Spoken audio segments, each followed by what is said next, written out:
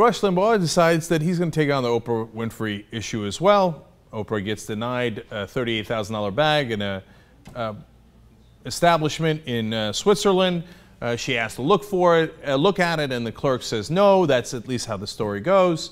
Uh, and Rush Limbaugh says, well, maybe it wasn't just because she was black. He's got a different theory. Let's hear him out. No, we don't know. We do not know the salesperson based her judgment on the Oprah's skin color.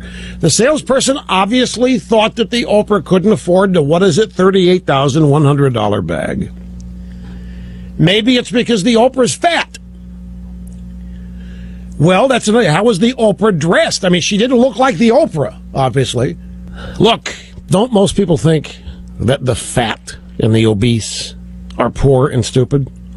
Isn't there that prejudice around out there? Isn't there? Where do you see fat people? Where do you see? You see them at places where things don't cost very much. Well, I'm just saying, isn't it possible? What are you talking about? You're fat.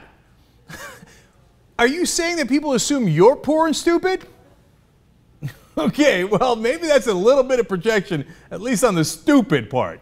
But who looks at fat people and goes, oh, yeah, that, that yeah, probably stupid?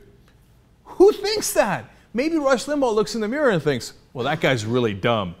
And then he's projecting that onto other people. Just when you thought like he couldn't get any more lonesome, or commentators like Bill O'Reilly already commenting on Oprah, I mean, he couldn't do it any worse. Rush is like, no, no, no, no. I could take it to another level. This one goes to 11. Okay. Not only am I saying that, you know, of course, you don't know that it was about a race. No, I'm sure that, you know. And by the way, when it comes to European stores and expensive uh, handbags, etc., they don't judge it on white and black. They judge it on if they think you're from a rich country or not from a rich country.